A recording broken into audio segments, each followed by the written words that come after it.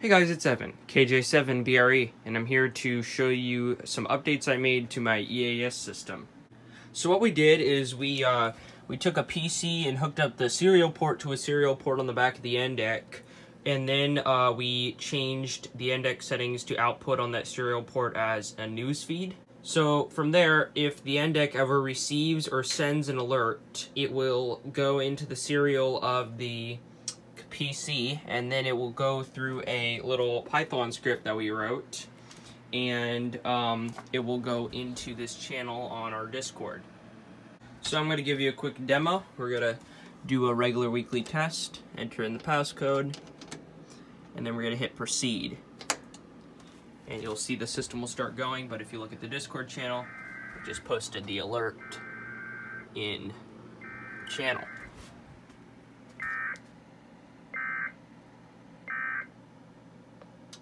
Okay, and uh, so now it's done. But uh, as you saw, that was very fast. Um, it's um, the time is uh, off by an hour uh, on the ENDEC, but I need to fix that. But um, yeah, everything uh, here is working, so uh, that's pretty good.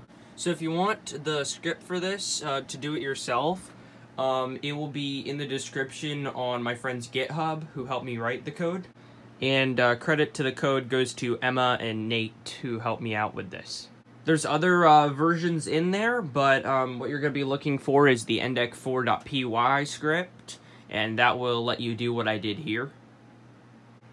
But we're constantly adding new things to the GitHub page, like the ability to use a Arduino as a ENDEC to emulate the serial output for testing for stuff like this, instead of having to make a weekly test on the ENDEC each time you can just use your Arduino to uh, put into the serial port on the back of the PC to test. We were able to make the script pretty short. It's only about 41 lines, but it could be less with the spaces that we did add. So anyways, I appreciate you guys watching this video, and uh, if you want to check out more about the Open OpenENDEC project that we're working on, the GitHub link will be in the description below so you can download the code for yourself.